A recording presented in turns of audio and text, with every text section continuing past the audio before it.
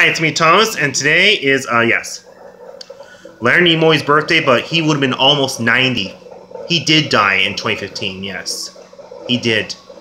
And plus, yes, Jonathan Groff's birthday is today, and he did the voice of Olaf. Comment down below if that's true. He did the voice of Olaf, Jonathan Groff. I think he did sing, yes, he did. Mm-hmm. And also, yes, I'm off tomorrow so I can sleep in. Mm-hmm. And when I get off work at the 10 o'clock, I'm going to go and buy, uh, yes, food that I need to hunker down. Because a lot of people are going to binge watch old shows. Binge watch. Mm-hmm. You've heard that before. Mm-hmm. And also, yes. Mm-hmm. There's a lot of birthdays today. Mm-hmm. And also, yes.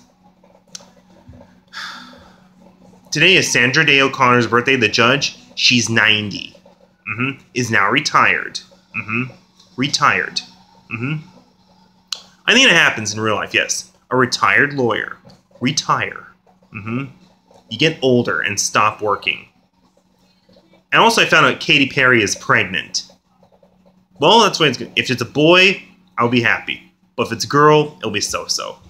Mm-hmm. Because you know that. She's pregnant. Katy Perry. Mm-hmm. And also, yes. Mm-hmm. Oh, sorry, I'm doing a video. Now I'm back on. Now I'm back on. Yes, it's work. Yes, it's recording. Yes. Mm-hmm. and also, yes. I will call Samantha tomorrow. Yes. Mm-hmm. And I guarantee you, yeah, 1077 The Bone will not play Katy Perry.